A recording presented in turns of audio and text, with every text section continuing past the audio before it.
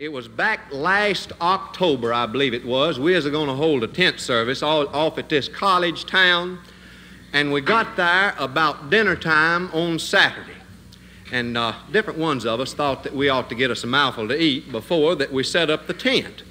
And so we got off of the truck and followed this little bunch of people through this small little bitty patch of woods there. And we come up on a big sign. It says, Get something to eat here. And uh, I went up and got me two hot dogs and a big orange drink. And before that I could take every mouthful of that food, this whole raft of people come up around me and got me to where I couldn't eat nothing, up like, and I dropped my big orange drink. I did. Well, friends, they commenced to move, and they want so much that I could do but move with them. Well, we commenced to go through all kinds of doors and gates and I don't know what all. And I looked up over one of them and it says North Gate. And we kept on going through there and pretty soon we come up on a young boy. And he says, Ticket, please. And I says, Friend, I don't have a ticket. I don't even know where it is that I'm going. I did. Well, he says, Come out as quick as you can. And I says, I'll do her. I'll turn right around the first chance I get.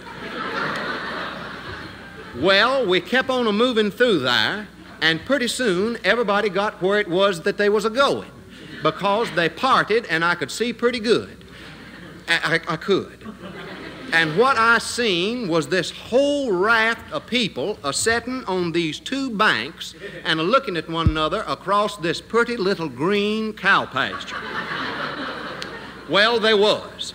And somebody had took and drove white lines all over it and drove posties in it and I don't know what all. And I looked down there and I seen five or six convicts a running up and down and a blowing whistles. They was.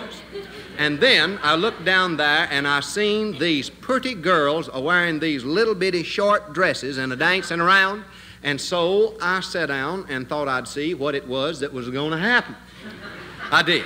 And about the time I got set down good, I looked down there and I seen 30 or 40 men come running out of one end of a great big outhouse down there. they did. And everybody where I was a setting got up and hollered. And about that time, 30 or 40 come running out of the other end of that outhouse, and the other bank full, they got up and hollered.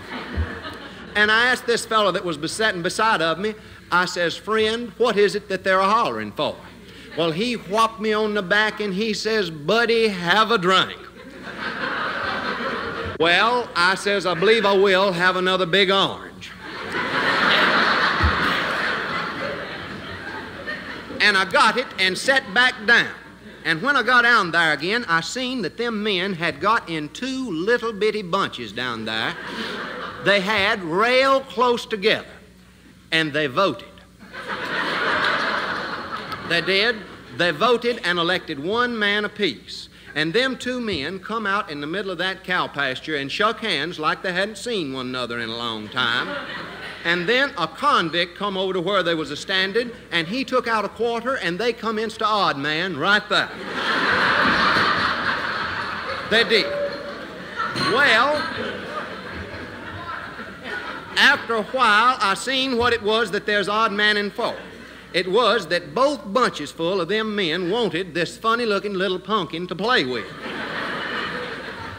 they did, and I know, friends, that they couldn't eat it because they kicked it the whole evening and it never busted. but uh, anyhow, what I was telling was that both bunches full wanted that thing. And one bunch got it, and it made the other bunch just as mad as they could be. And friends, I seen that evening the awfulest fight that I have ever seen in my life. I did. They would run at one another and kick one another and throw one another down and stomp on one another and grind their feet in one another and I don't know what all. And just as fast as one of them would get hurt, they'd tote him off and run another one.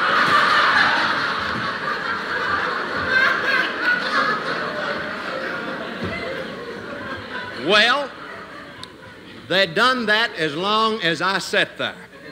But pretty soon, this boy that had said, Ticket, please, he come up to me and he says, Friends, you're going to have to leave because it is that you don't have a ticket. And I says, Well, all right. And I got up and left. And I don't know, friends, to this day what it was that there's a doing down there, but I have studied about it. And I think that it's some kindly of a contest where they see which bunchful of them men can take that pumpkin and run from one end of that cow pasture to the other without either getting knocked down or stepping in something.